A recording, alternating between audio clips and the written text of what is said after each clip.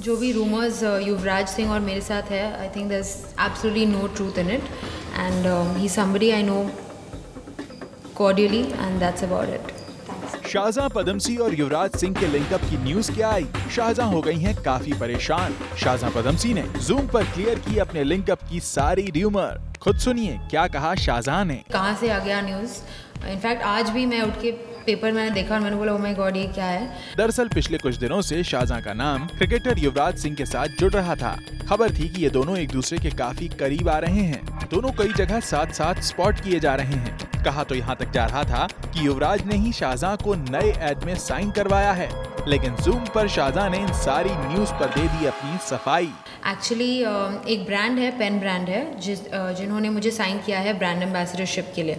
तो that is the connection and हमने चेतन भगत का जो बुक लॉन्च था revolution 2020 we both launch the book together that is the only connection there is no other connection शादा ने exclusively हमें बताया कि वो खुद इस तरह की न्यूज़ से कितनी डिस्टर्ब हैं। जो भी रूमर्स युवराज सिंह और मेरे साथ है I think there is absolutely no truth in it and he somebody I know cordially and that's about it.